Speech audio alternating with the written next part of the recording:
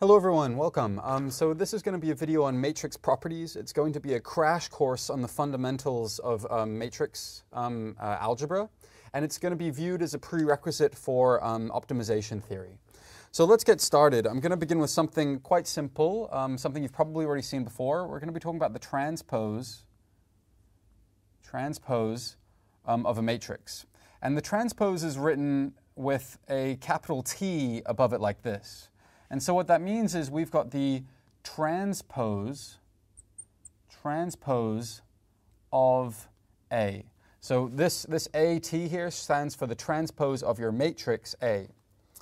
Okay, now um, in case that doesn't make a lot of sense, let's cover a few different examples. Let's say um, I have a matrix A which is not necessarily square, maybe just 1, 2, something like that, or maybe 1, 7, or whatever. It doesn't matter. Some particular example. What is the transpose of A?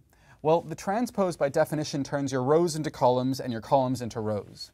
So in this case, the transpose of this matrix would just be 1, 2. We really just flip it on its side.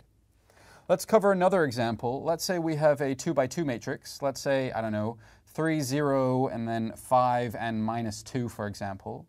What would be a transpose in this case? Well, we turn our rows into columns and our columns into rows. So our row, our first row is 3, 0, so that becomes our first column.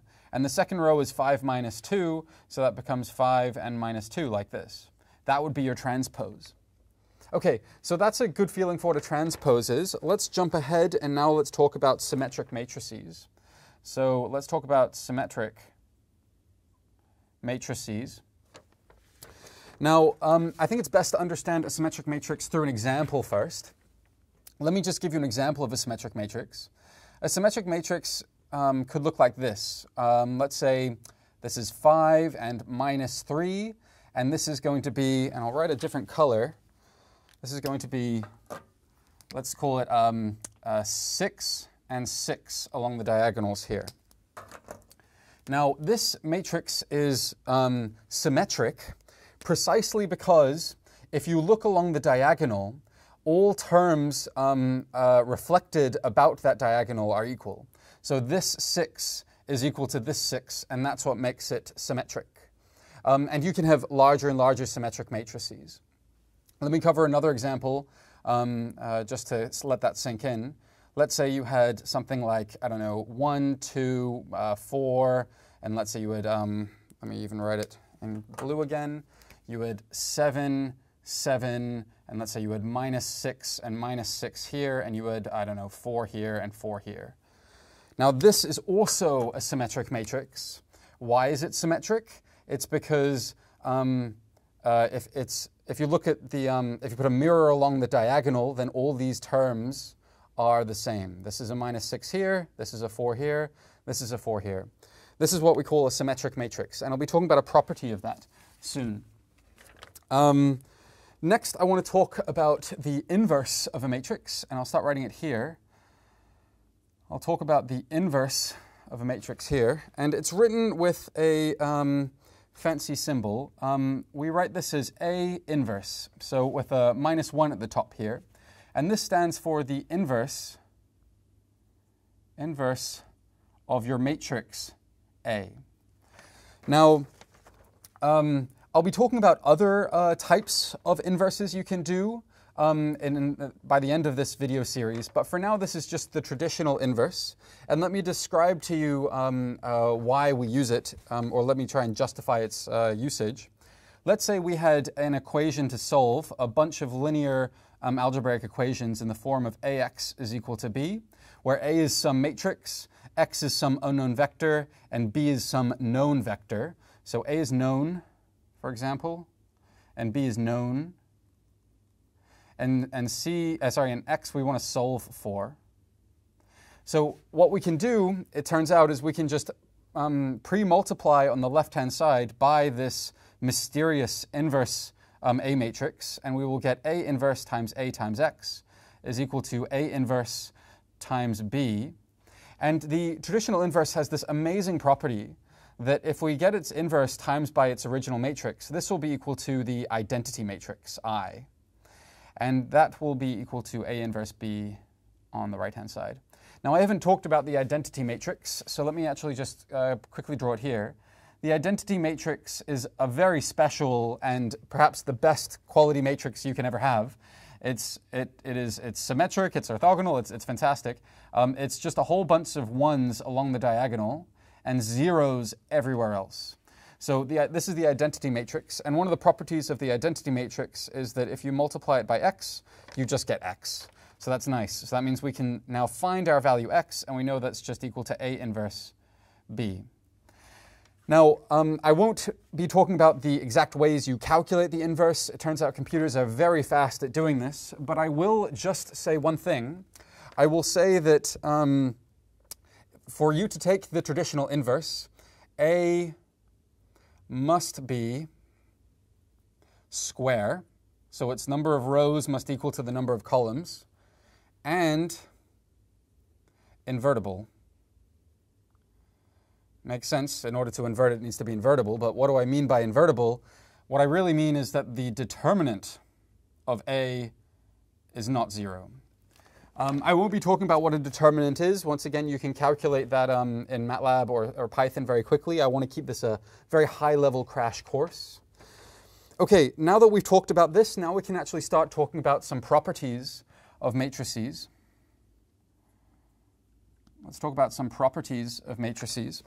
Probably the most obvious one we can think of is that um, a symmetric matrix has the following property, where A is equal to A transpose. This is, this is true if A is symmetric. Now let's see if we can justify this. If we turn our rows into columns and our columns into rows, then you'll end up with the exact same thing here, right? The first row is 5, 6, so that becomes 5, 6 of this first column. Second row will be um, 6 minus 3, and that becomes 6 minus 3 here. You get the exact same thing. So if A is symmetric, then this property holds. So this is often used as a definition of a symmetric matrix, but I just wanted to cover some intuition first.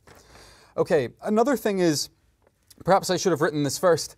Um, in, in matrix algebra, AB does not always equal to BA. This is a little bit confusing because we're used to dealing with scalar numbers where if we multiply two scalars together, it doesn't matter which way we multiply them. That is not generally true when we deal with matrices. I should also mention that. Um, so I want to make that very clear. That's a not equal sign. Another thing I would like to talk about is another property of the transpose, which is that A B transpose is equal to B transpose A transpose. And notice that, um, so A and B are matrices. They need not be square. In fact, let me write that down. A and B do not need to be square in order for this property to hold. And what's so interesting is if I take the transpose of two matrices multiplied by each other, then the order of the matrices flip and we just transpose each of them individually. So that's, that's an interesting property. And in fact, you can prove from this result um, a more general result, which is that A, B, C transpose is equal to, well, the same thing holds true. You can write this as C transpose, B transpose, A transpose.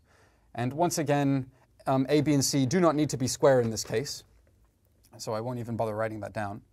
Um, so that's an interesting result here. Another useful property is this one. And let me write this down. This is going to be A inverse transpose. So first we invert it, then we transpose it. It turns out that will always be equal to A transpose inverse. So that's interesting. The order actually doesn't matter. But what does matter is that A needs to be invertible, and it needs to be square. So I'll just say A needs to be square and invertible. So that's interesting. So it really doesn't matter what order, and that's useful for some proofs, which we'll be covering later.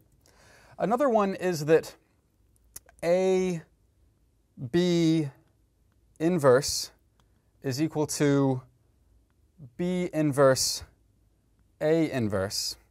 And so once again, similar to the transpose, the B and A switch sides, and you just inverse them individually.